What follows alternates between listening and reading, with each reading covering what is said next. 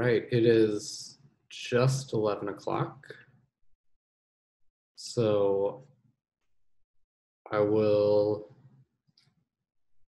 talk a little slowly while people are joining in. Um, there is a chat at the bottom where you can ask questions if you have them throughout. Uh, there are a few sections throughout this talk, so I will try and uh, go through a full section and then answer questions um, in between each one as we have time. Um, and certainly anything I don't get to, we will cover at the end. So, uh, thank you all for joining. My name is Seth Wiesman. I am a solutions architect with Ververica. Uh, we are the company founded by the original creators of Apache Flink, formerly Data Artisans. Um, and this is a webinar on deep diving on Apache Flink states. So before we get into any of that, I uh, just want to let you know that Flink Forward Europe is coming up. It's going to be in Berlin, October 7th through the 9th, and early bird registration is open. So if you're looking to join, uh, it's a great time to get a ticket. I hope to see you there. So today we are going to talk about state, and particularly state backends, but really everything pertaining to it. Uh, we'll start with a quick refresher on serialization, uh, then spend a lot of time talking about the different state backends, uh, how they actually work under the hood, uh, and when you may choose one over the other. A little bit on checkpoint tuning, along with schema migration, which is a, a newer feature that Flink supports. And then very quickly look at some of the upcoming features that are going to be in 1.9 and future releases. So, serializers. Uh, this is going to be a quick overview. Um, I have another webinar that you can watch on a resources page called Debugging and Troubleshooting that goes into much more depth on serialization. But just so you're aware, uh, Flink serialization system is called type information. And it uh, natively supports a wide variety of types. So all the primitive types in the Java type system, a number from Java time, uh, tuples, Scala case classes, POJOs, Avro, uh, most of the things that you are probably using today. Uh, but in any case, if something is not supported, we do have the ability to fall back to a generic Kryo-based serializer. Uh, we have done some benchmarking of these serializers using the uh, complex class on the right. And what we have found is that our serializers outperform Kryo uh, fairly significantly. And having the right serializer is typically the best way to get the most performance out of your system. Of course, uh, benchmark your own system, everything uh, is relative. But in general, if we can stay away from Kryo, if we can use Pojo and tuple serializers or something like Avro, uh, we're going to get pretty good performance. And using those is going to unlock a number of features that we'll talk about towards the end of this webinar. Um, if you want to register a custom serializer, so you have a custom Kryo serializer, you can do that in the execution config. And so we can specify either the class or an actual instance if you need to parameterize it in some way.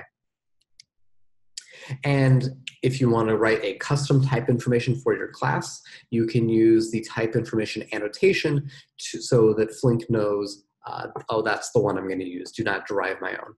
So even though my tuple over here is a valid POJO class uh, and would derive correctly with the POJO serializer, we've decided, you know what, we want to write our own. And that's okay, Flink is going to respect that. So that was a quick whirlwind tour of serializers, but now let's talk about state backends. Uh, when we're talking about state backends, what we're really talking about is where memory is going to live during the execution of our application. And so we have our task manager process with some data on the Java heap and some off heap or using native memory. And we can break down our state usage into roughly four categories. There's the Flink framework itself, network buffers, our timer state, and our keyed state. And the relative size of each of those is roughly as shown. So the Flink framework is, of course, written in Java, and so it's always going to be on the Java heap, but it's fairly tiny. And network buffers are always off heap. Uh, we use Netty to implement our network uh, layer, which is yeah, always off heap. So the question is, where are we going to put timers in keyed state, which are typically going to be 90, 95% of our uh, memory usage throughout our application? Well, Flink offers two state backends out of the box. One that's based on Java heap objects, and one based off of RocksDB. And the big choice between these two is really a choice between do we want to keep our data on Java heap or the ability to spill to disk?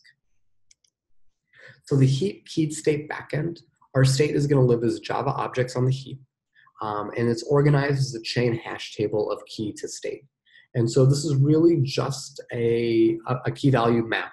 Uh, it's like Java hash map, although a little more uh, optimized. And so we'll have one hash table per registered state, and we're going to support asynchronous state snapshots, which are very important. Um, and data is serialized and deserialized only during state snapshot restore, which gives us very high performance.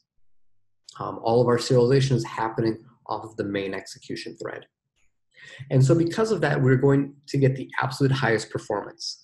When you read a state out of value states in using heap keyed state backend, right, we're just returning a pointer to an object already on the Java heap. You cannot get more performant than that. But we're storing a lot of data on the heap, and that means we are going to be affected by garbage collection overhead and pauses. Uh, and this state backend does not currently support incremental checkpointing.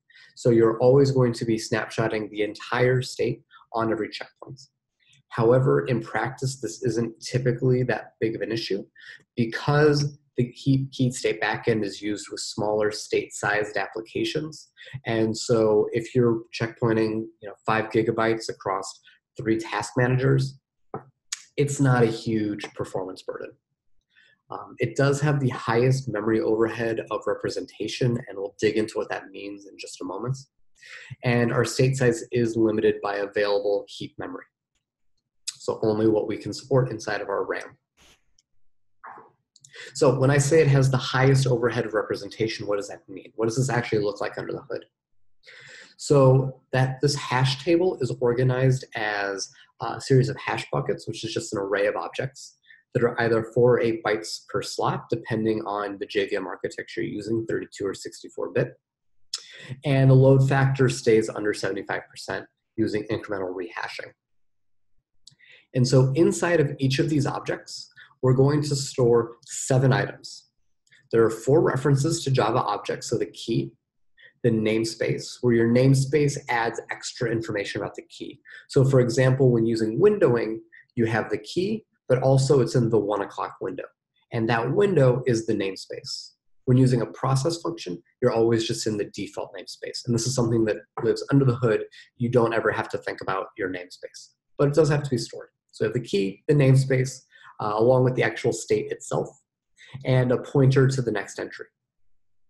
Um, those objects have object overheads, but some of the things they're pointing to may be shared because these are generic objects. You can do whatever you like. It also stores three ints, which are uh, versions and some hashed uh, hash codes. So that's four to eight bytes for each pointer, times four, depending on the JVM architecture, times plus three more ints, along with some object overhead. Um, that's a lot of memory per entry before we even start to talk about the uh, actual data stored in our key or state. So there's a higher overhead here. Um, and but it does support incremental snapshotting, which is very important, meaning that we can take the snapshot or our checkpoint can occur while we continue processing data. This is not a stop the world checkpoint. What we do is copy the hash bucket and the pointers to each entry. And then if a new item is entered, a new key that does not conflict, there is zero overhead to that uh, entry.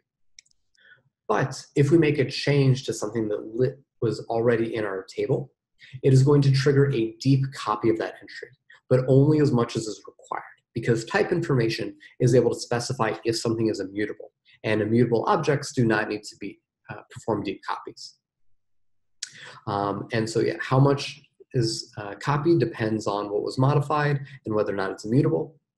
Uh, in the worst case, we could end up copying the entire table if we manage to touch every key during the lifetime of this checkpoint.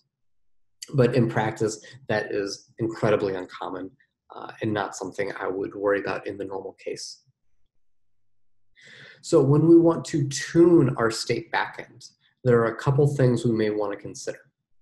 Uh, choosing with efficient copy methods because the copy is the only part of the serializer that is going to live in our per record code path.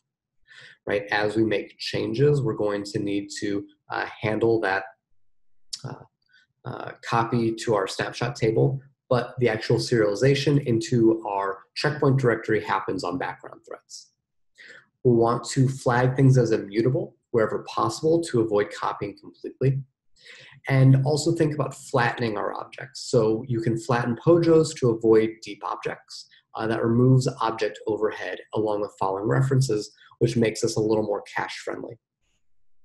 Of course, being on the JVM, we need to consider our garbage collection choices and tuning. Uh, this is going to uh, require some work on your part to determine what makes the most sense for your application. Uh, but choosing, but playing around with these settings can lead to some pretty significant uh, performance improvements. And we may also consider scaling out the number of task managers per node.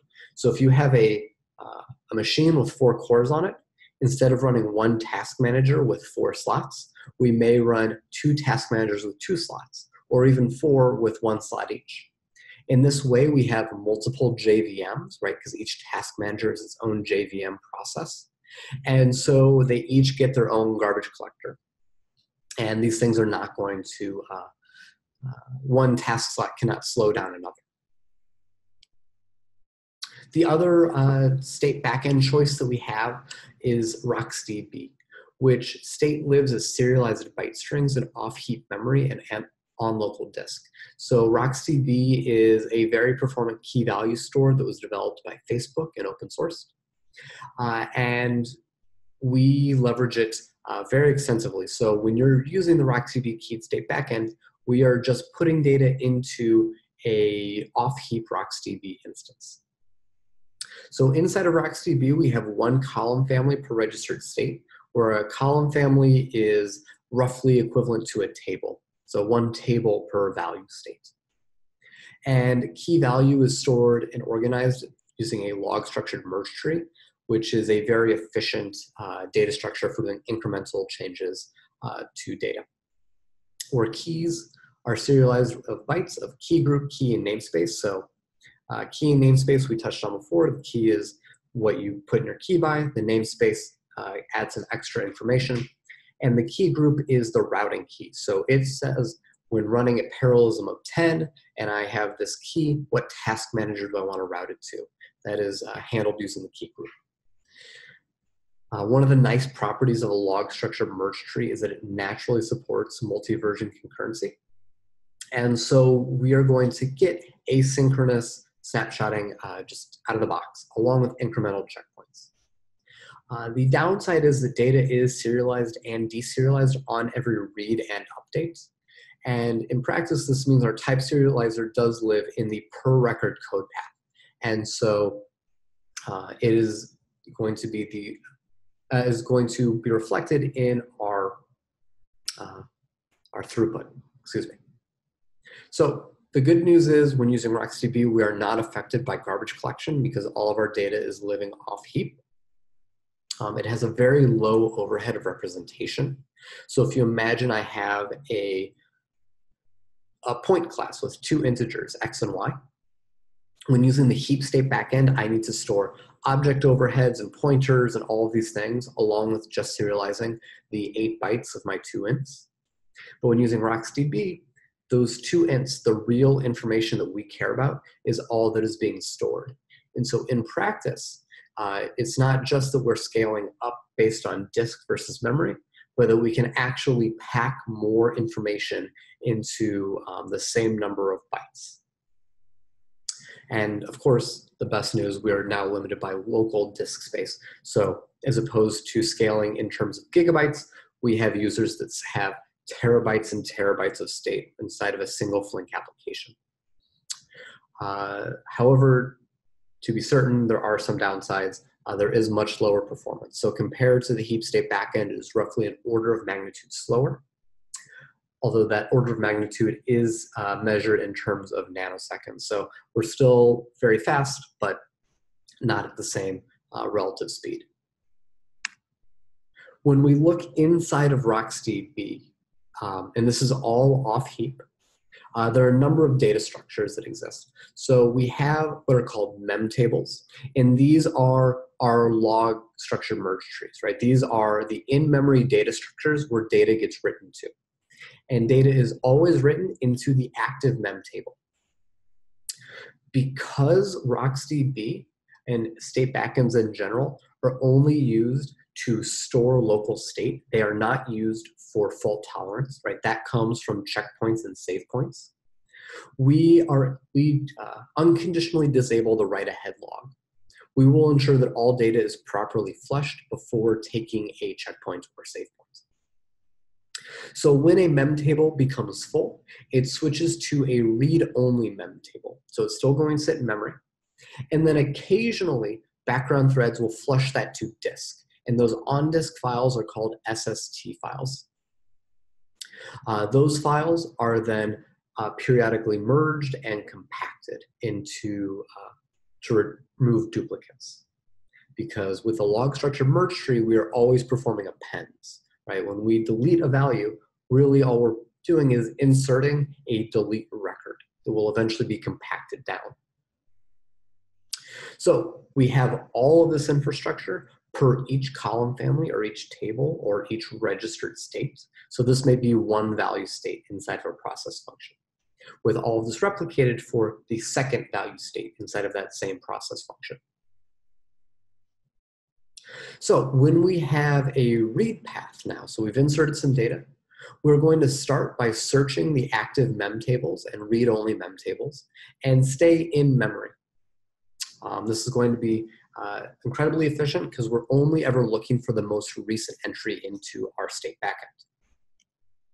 We can also add a read-only block cache that can help uh, limit the number of files that we actually have to uh, look at when, when performing a read. And in the worst case, we will actually go to disk. And so what this means is even though we talk about RocksDB as being the on-disk state backend, it's the one that can spill to disk gracefully. In practice, most of your per record execution, right, the hot code path within Flink, is going to stay in memory, but just off JVM heap.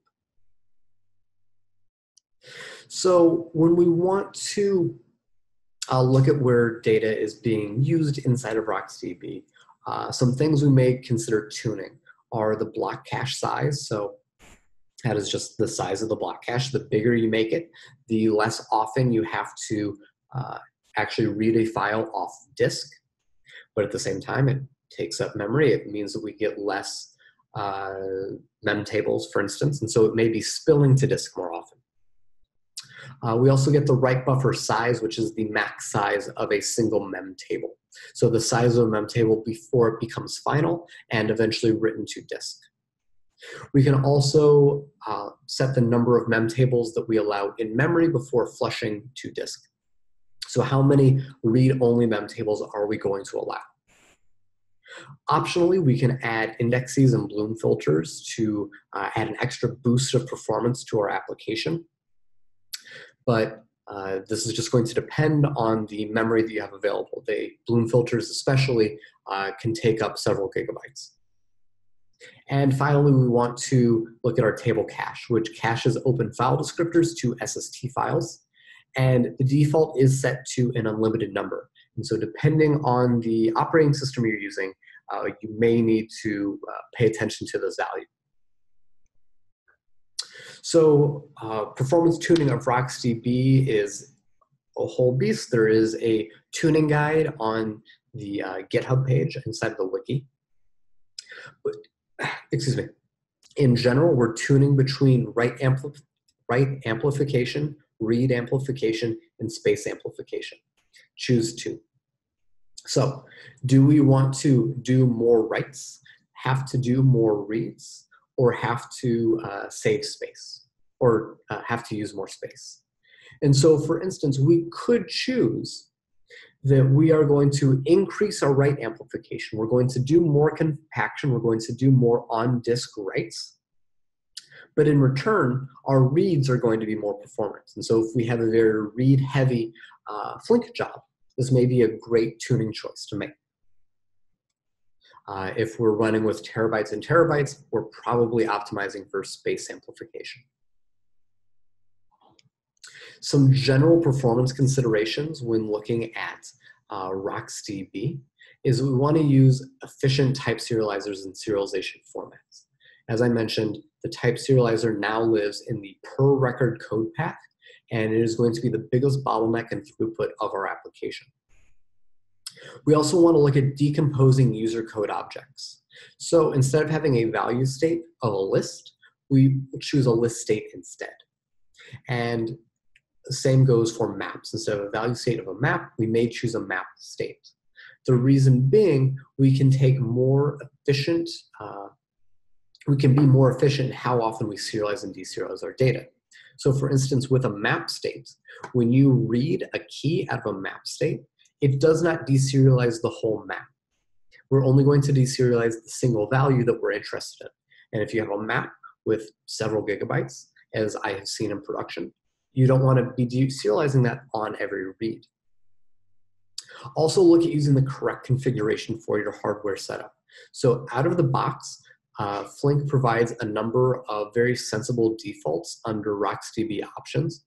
So high memory, spinning disks, excuse me, solid state drives, all the common setups are there. And in general, if you can pick the one that most closely matches your hardware, you're going to see very significant performance improvements. And that is the most tuning that most users need to perform. And then also think about your file system. So ideally, we're looking for uh, our working directory to be fast, local, uh, preferably SSD. It could even be uh, mounted to in-memory if you have uh, a lot of uh, RAM available on your machine. Uh, what we don't want is something like EBS, right, or a mounted volume. The reason is that, again, we are not using RocksDB as a way of being fault tolerant. We're using it for persistence. Checkpoints and save points uh, give us fault tolerance. And so if you have a network sitting between you and your state backend, you are going to get very bursty, inconsistent performance.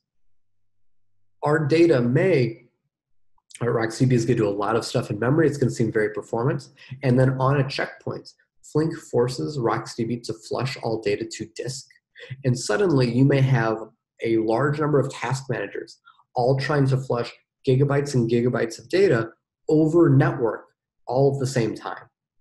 And it's going to cause a whole host of problems. So we want, even if running inside of Kubernetes or a Dockerized environment, we want to use local disk. So that is the core of state backends, right? And so that is where all of our keyed state is stored, all the state that you manually uh, look at on a day-to-day -day basis. But beyond that, we also have timer services. So when you register a timer, it is also stored as part of your state. And historically, Flink has used uh, heap-based timers. So we'll have a binary heap of timers stored in an array, and they store a number of references. So we have a key and again, our namespace. The timestamp itself along with its current array index, where key and namespace are still just Java objects, and so there may be some shared state between them. And this gives very good uh, peek, pull, and insert, which are the typical operations we're going to perform.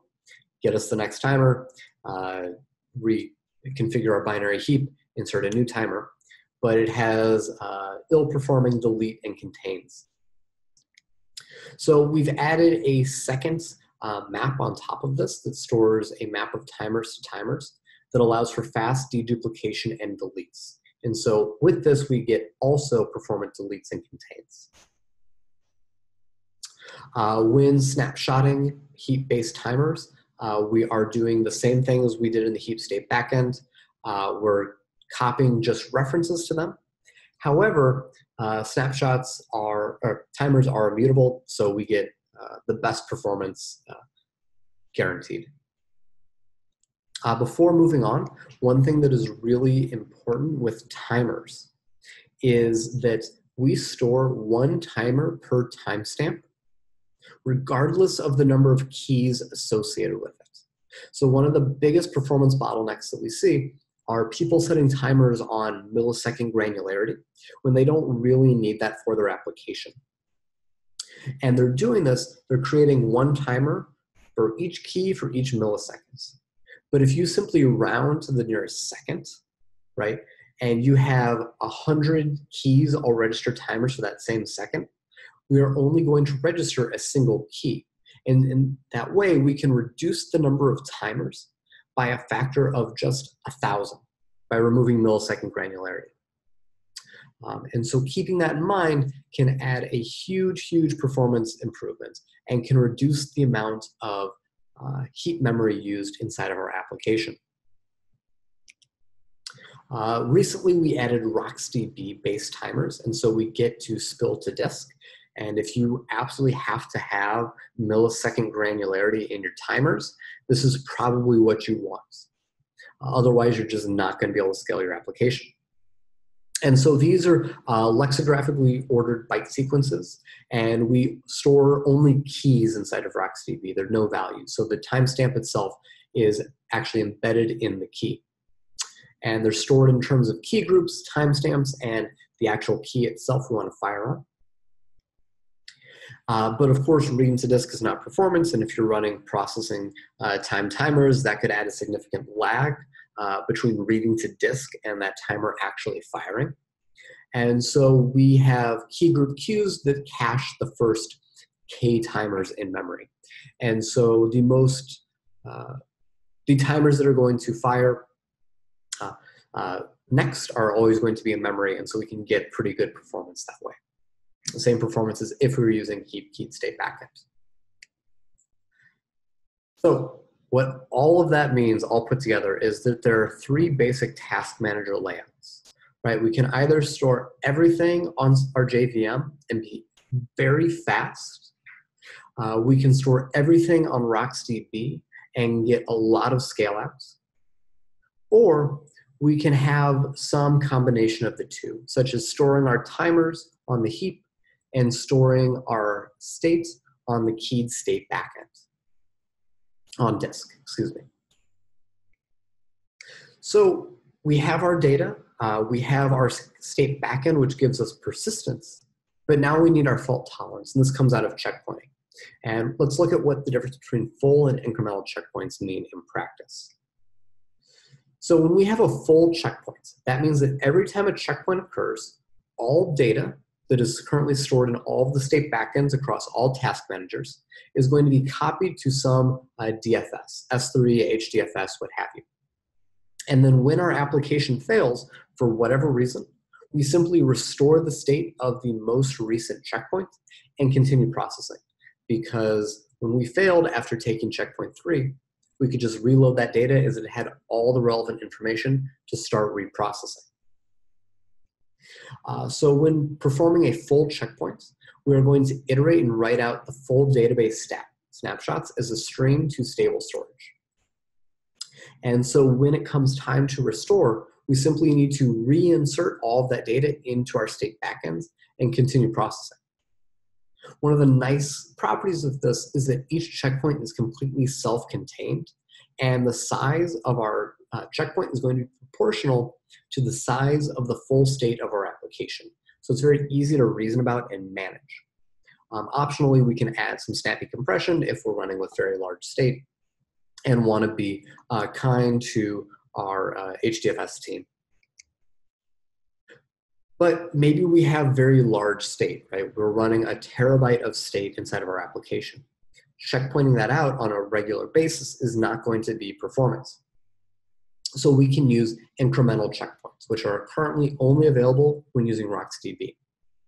And so the very first checkpoint that occurs is going to, of course, have to uh, write out everything because it's the first one.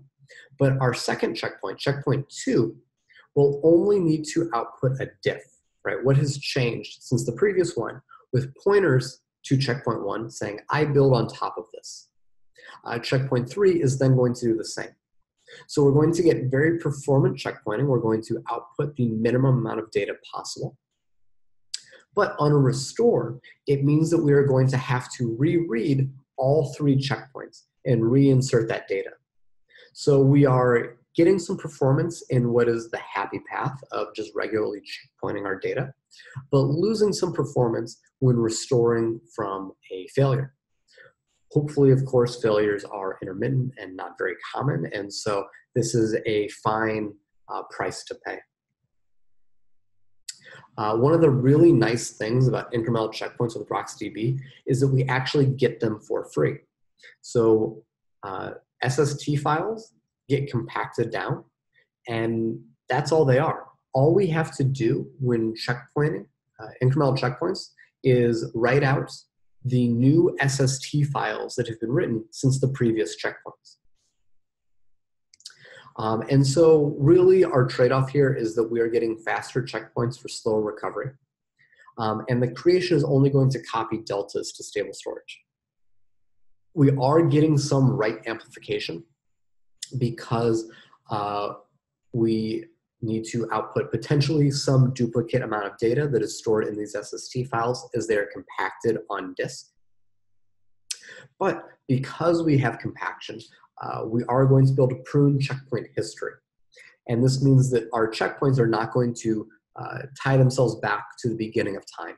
Typically, any given checkpoint only references the previous three to five.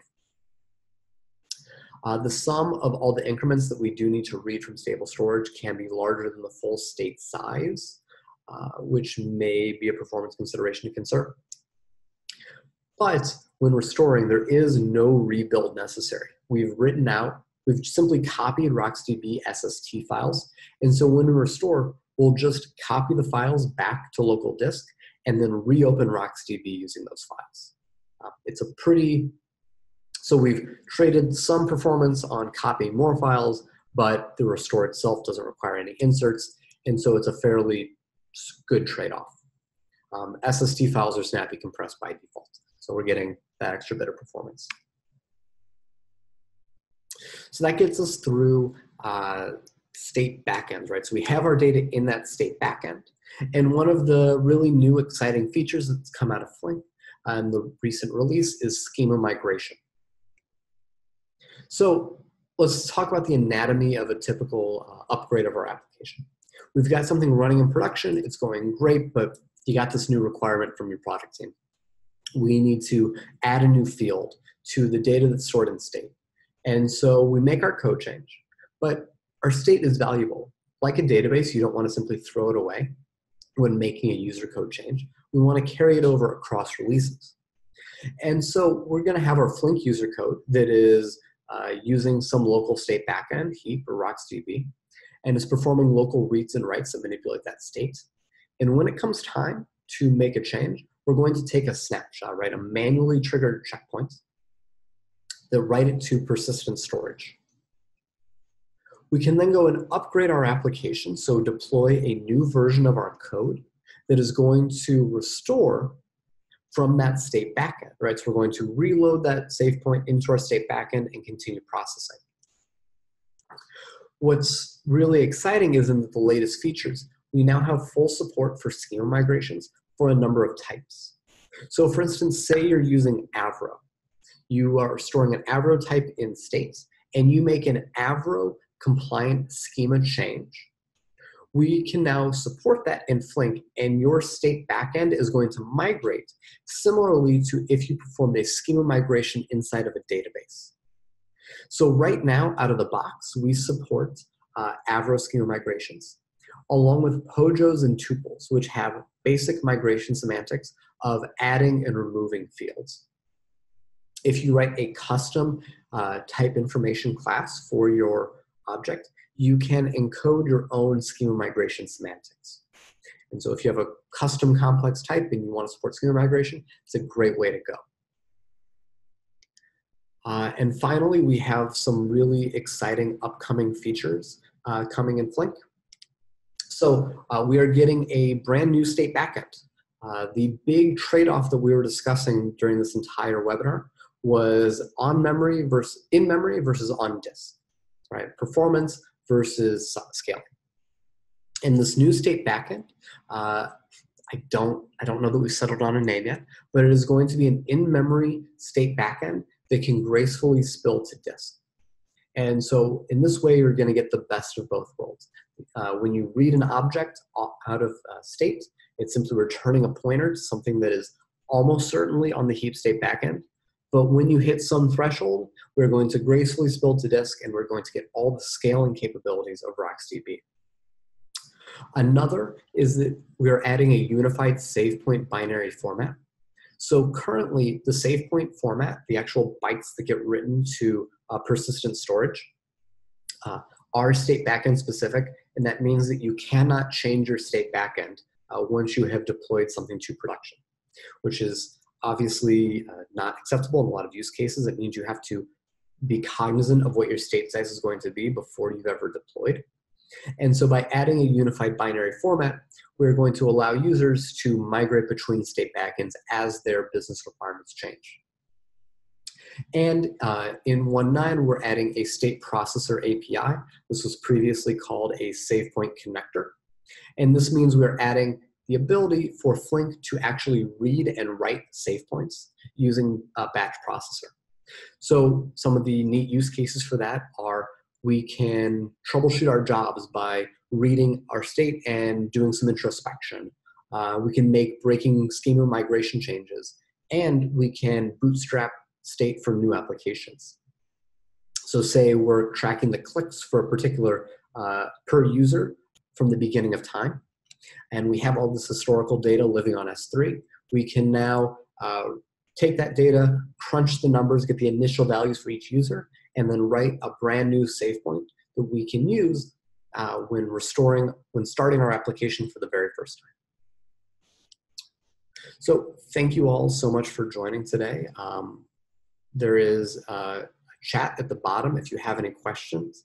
Uh, we have uh, about 10 minutes remaining in this webinar, and I'm happy to uh, answer them.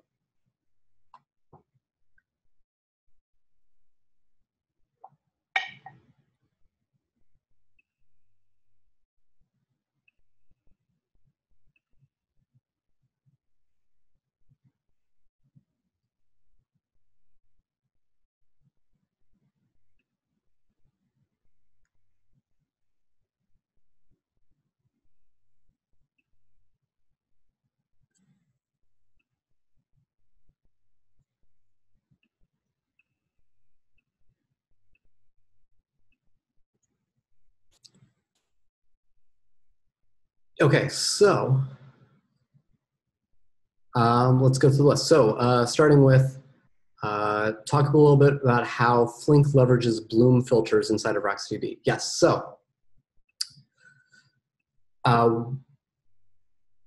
RocksDB under the hood uses what is called a log structured merge tree.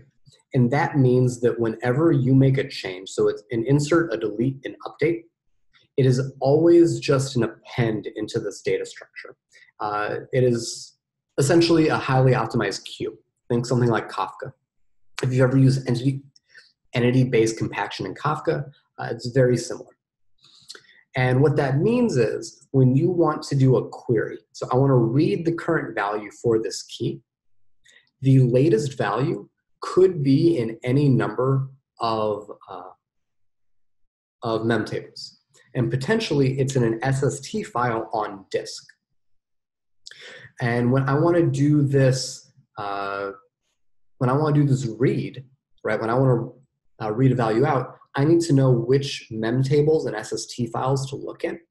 And Bloom filters uh, are going to add a cache of what keys are in each data structure.